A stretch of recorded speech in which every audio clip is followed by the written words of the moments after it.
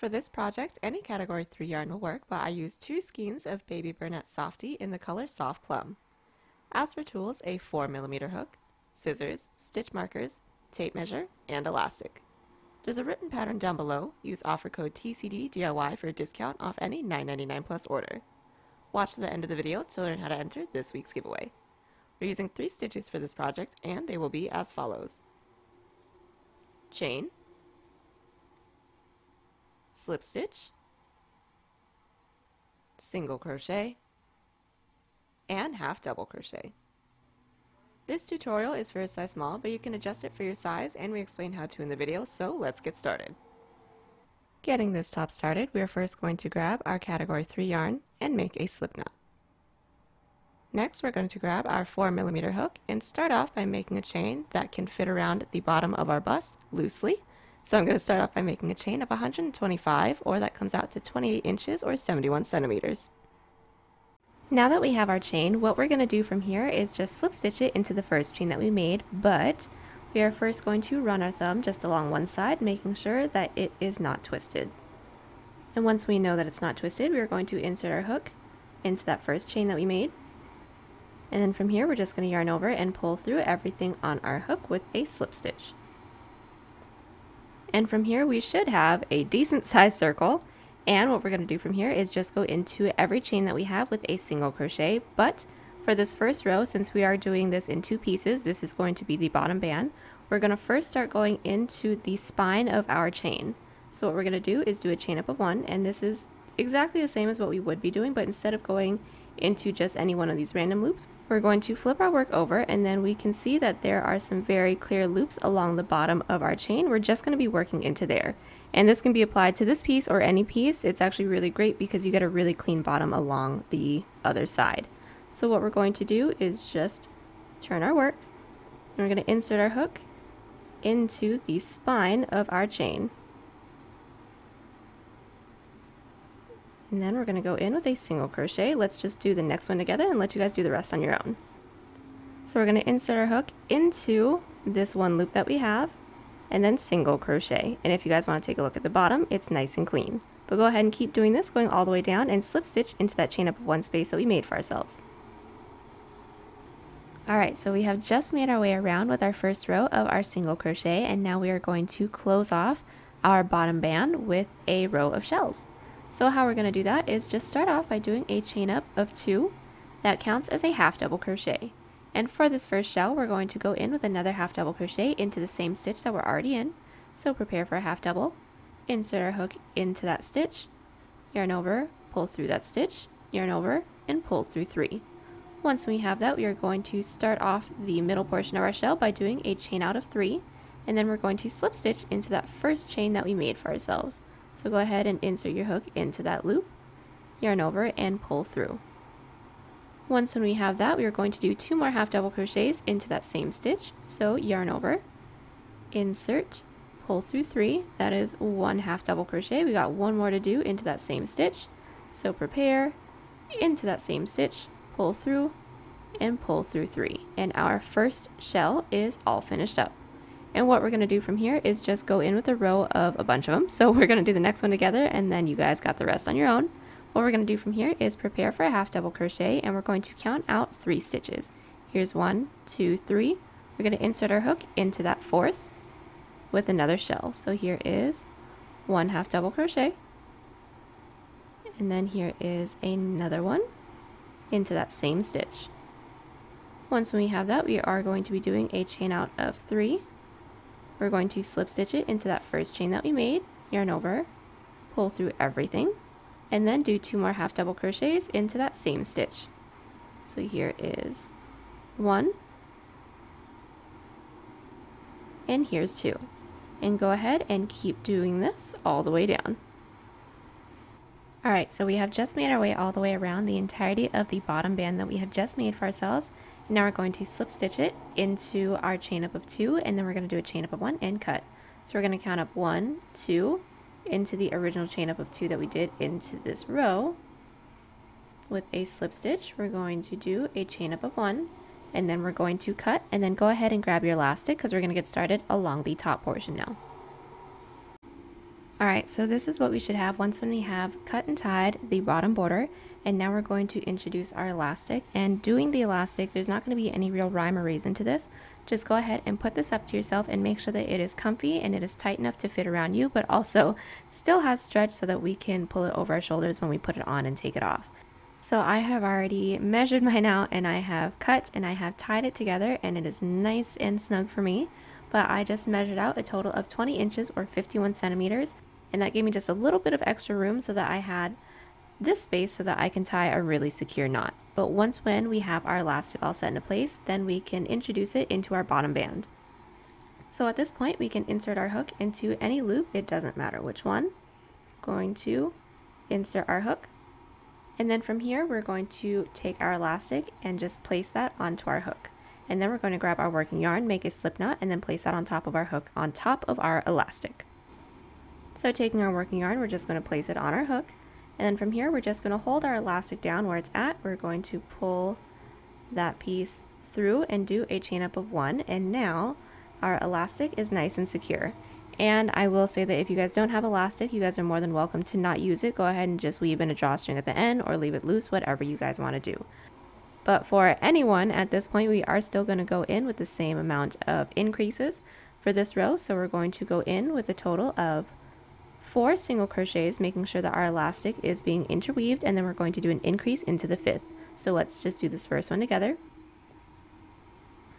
What we're going to do is insert our hook into that next available stitch that we have, making sure that our elastic is just laying right on top of the loop that we just inserted our hook into. And from here, we're just going to single crochet like normal. This whole part that we're going to do, we're going to make sure that our elastic is just laying on top of the loop that we have just recently inserted our hook into so that it is interwoven. And for this portion, I'm going to go in with four single crochets. So there's two, there is three, and there's one more, and then we get to do our increase into the fifth. So there's our four single crochets. Into that fifth, we're going to insert our hook, put one single crochet into there, and then we're going to insert our hook into that same stitch with one more single crochet and we're just going to maintain that pattern going all the way down. Four singles, increase into the fifth, four singles, increase into the fifth. And then once when you guys get closer to the other end, it is going to shrink up quite a bit, but go ahead and just pull some slack for yourself when it comes to the elastic and then it'll all work out. And I'll meet you guys back at the end of this row. Okay, so we have just made our way all the way back around and we have inserted our elastic and we did our increases into every fifth stitch. And now from here, we're going to be putting one single crochet into every front loop. So how that's going to work is just prepare for a single crochet by doing a chain up of one. And then we're going to put one single crochet into every front loop that we have going all the way around. And then once when we get to this last stitch that we have going into the front loop, we are actually going to continue going into the back loop because that is how we are going to have our wrap look. So I'll meet you guys back once when we get our way all the way down to this last loop that we have and then I'll show you guys how we're going to go in with our back loop single crochets underneath this first layer. Alright, so we have just made our way all the way around doing our front loop single crochets and we made it over to this last stitch and now we're actually going to start working into these back loops that we have left for ourselves. But before we start doing that, we are going to want to try this on.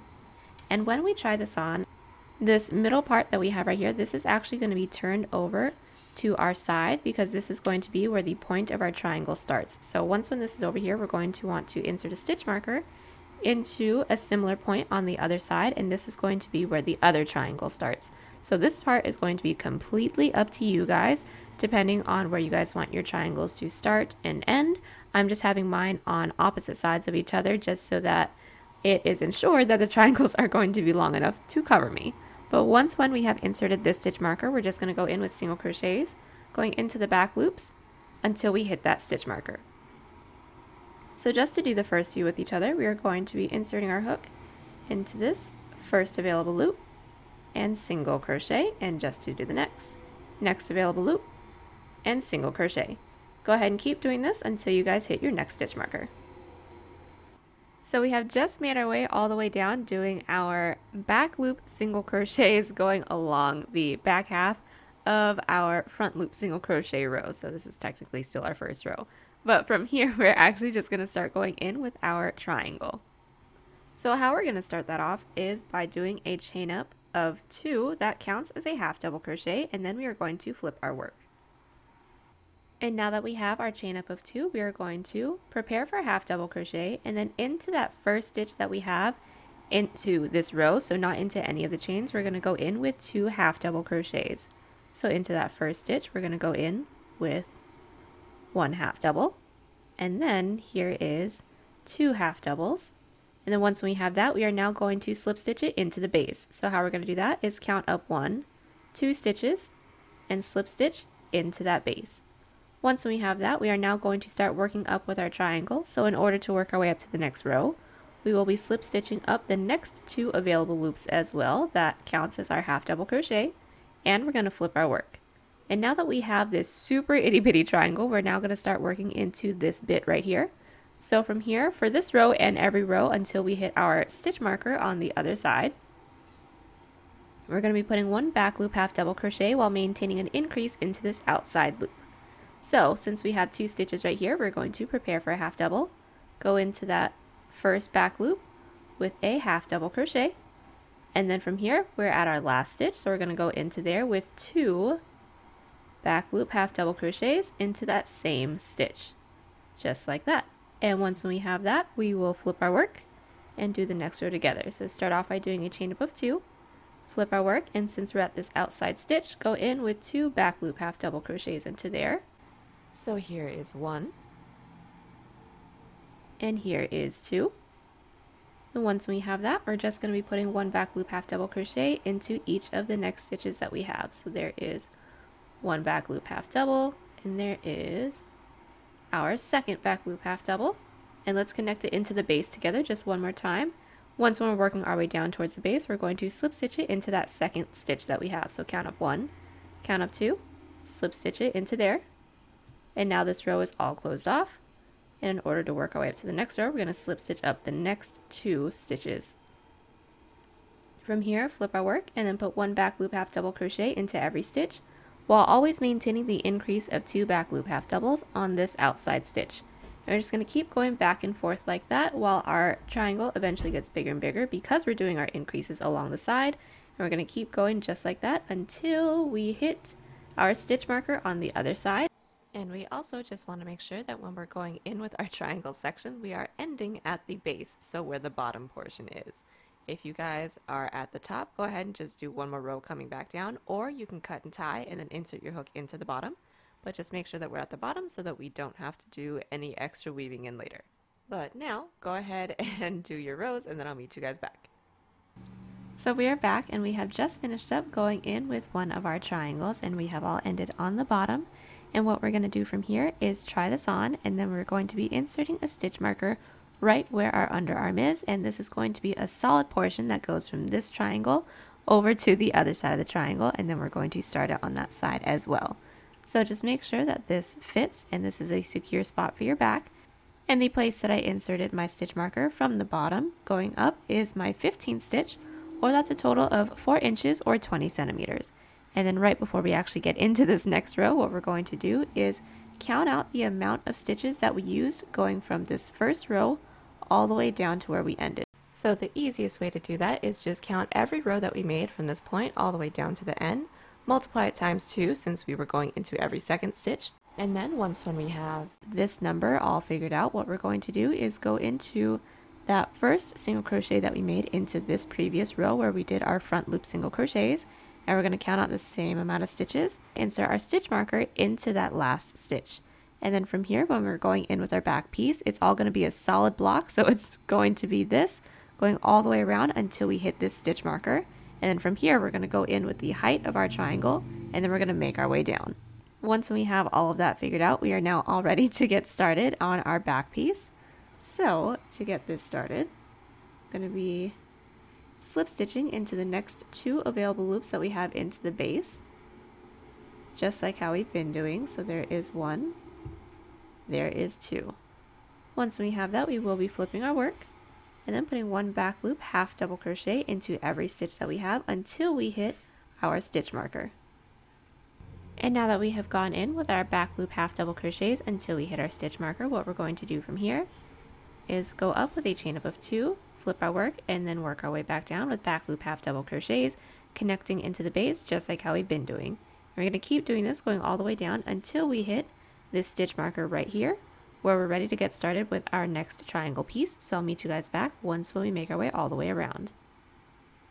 Alrighty, so we have just finished up going all the way across with our back. Pretty simple. And what we're going to do now is get started on our triangle. So what we're going to have to do is actually get started on the tall portion that we have of our triangle first, and then do half double crochet decreases going down, making sure that we're going in through this portion of our single crochet, and that will create our fold. So what we're going to need to do from here is figure out where we ended. So since I ended up here, mine is going to be fairly easy. I'm just going to start off by making a chain of the same amount of stitches that I have from right here going all the way up to my corner. But if you guys ended at the bottom, do not fret. You guys can either do your half double crochets going back up, or if that takes up too many stitches, you guys can go in with a row of single crochets going up, and then once when you're up at this corner, go in with our chain count of however many stitches we have over here. It'll all end up the same. So I have already figured mine out.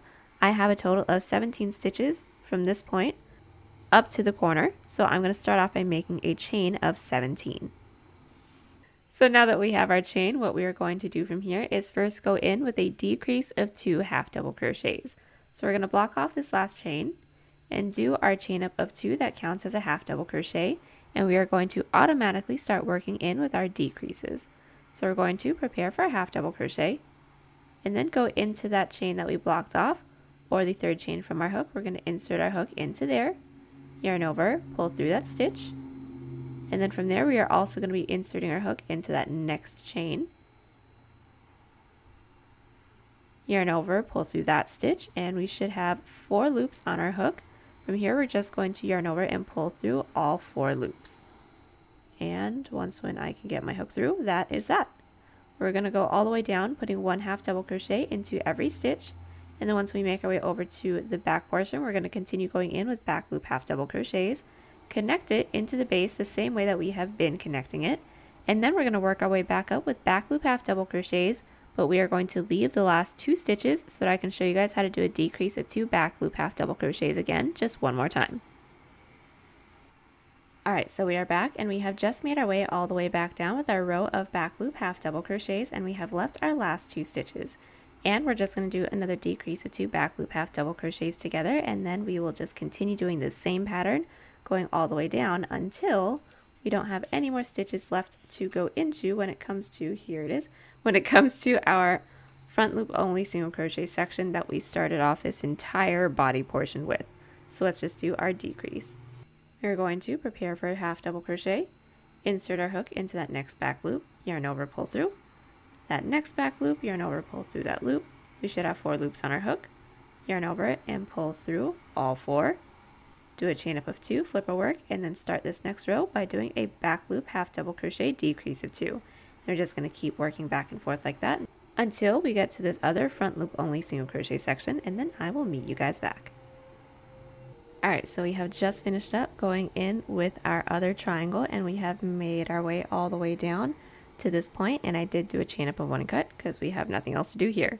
But the next thing we're going to do is just finish up going in with the back and all we're going to do is try this on at this point and then just measure from this edge of the triangle across our back to the other edge of our triangle and we're going to take that measurement and just subtract a few inches because we're going to need to put in some elastic. And just make sure that when you guys are cutting just a few inches from the measurement that we have right here. We're not pulling too many because otherwise it'll pull the triangles. So as an example, I needed a total of 19 inches. So I went ahead and cut 16 inches or 41 centimeters. And then once we have this all cut up, what we're going to do is just tie the two ends together and then single crochet across. So what I like to do is just take my hook and then insert it into this corner loop that I have right here in between where the triangle shoots straight up to our back, we're going to insert our elastic onto our hook, pull through and then just make a really tight knot and then do the same thing on the other end. And once when we have our elastic nice and settled in, what we're going to do is just go across with a row of single crochets And we're just going to be alternating between one to two single crochets into each of our side half double crochets. So just to get this started, we are going to be inserting our hook into the same loop that we inserted our elastic into. So the one that is right in between this triangle part that shoots straight up and our back piece. We're going to pull through and do a chain up of one to secure. And from here, it's going to be exactly like how we inserted our elastic on the other side. We're just going to make sure that our elastic is hanging out right on top of the next loop that we're about to go into. So my next loop just so happens to be this next side half double crochet right here. So we're going to be inserting our hook into there, making sure that our elastic is right on top. And then we are going to single crochet. And into this next side half double crochet, we're going to go into there with two single crochet. So there is one, and there is two. And we're just going to keep alternating between one single crochet to two into each side half double crochet, going all the way down. Once we make our way down to the end, we are going to slip stitch it into the loop that we have tied this tail end of our elastic into, do a chain up of one and cut, and then I'll meet you guys back. Alrighty, so we are back and we have just finished up going in with a row of single crochet over our back piece and we are nearly done. Now we just need to go in with a little front triangle detail and our strap, but that's all going to be done in one piece. So the first thing we're going to have to do is try on our piece and then figure out where we want our back straps to fall. I have already inserted my stitch markers and I want mine to be just about 20 loops in from the edge of our triangle. And we are also going to want to measure from the tip of the triangle that we have going up and over our shoulder and down to the stitch markers that we just placed for ourselves and that is going to be our strap length as well. But once when we have that, what we're going to do is work on one of our triangles and then I'll let you guys do the other one on your own because it is exactly the same. But what we're going to do is first insert our hook into one of the loops that we have into our base single crochet. So we're not going to go into this first side half double. We're just going to find any one of these single crochets that is near the corner of our triangle. We're going to insert our yarn onto our hook and pull through. Now once when we have that, we are going to go all the way up to the point of our work with a bulb is what we're going to call it. And all that is is putting a single chain of three and single into each side half double crochet that we have. So let's do the first one together. Taking a look at this first side half double, it may be a little difficult to find, but it is right there. We're going to go in with a single crochet. So there is one, and then we're going to go in with a chain of three. So there's one, two, three, and making sure that we're going into the same side half double crochet. We're going to go in with another single crochet, and that is our bulb. Let's do the next one together, and then let you guys go from there.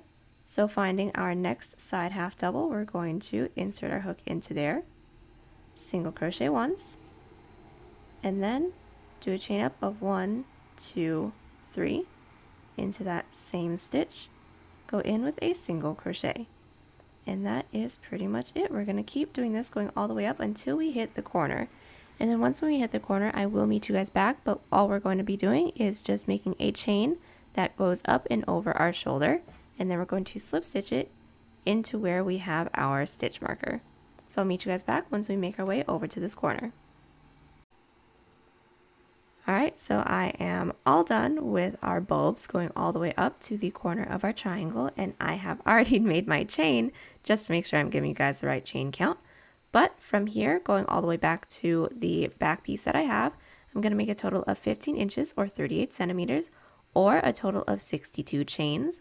And then from here, all I'm going to do once when I have my chain is slip stitch it into the loop that we have our stitch marker into. We're going to take this guy out.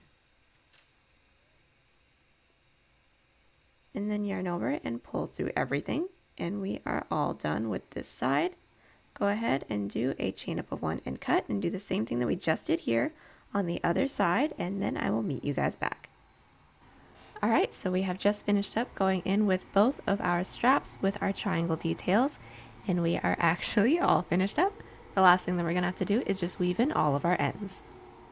We've woven in our ends and this is our finished wrap top. We've gotten a lot of requests to make this top into a written pattern so we decided to make a new tutorial to go with it. And I've forgotten how much fun this top is to make because it works up super fast and it's really easy to make. The written pattern is down below. Use offer code TCDDIY for a discount off any $9.99 plus order. And enter this week's pattern giveaway by submitting any questions for a frequently asked questions video we'll be doing soon. Also, if you like this video, give it a big thumbs up because believe it or not, it actually helps.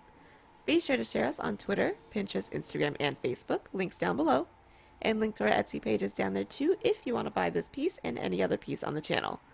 Be sure to favorite the shop so you don't miss out on new patterns and exclusive deals. Thank you guys so, so much for watching, and I will see y'all in the next one.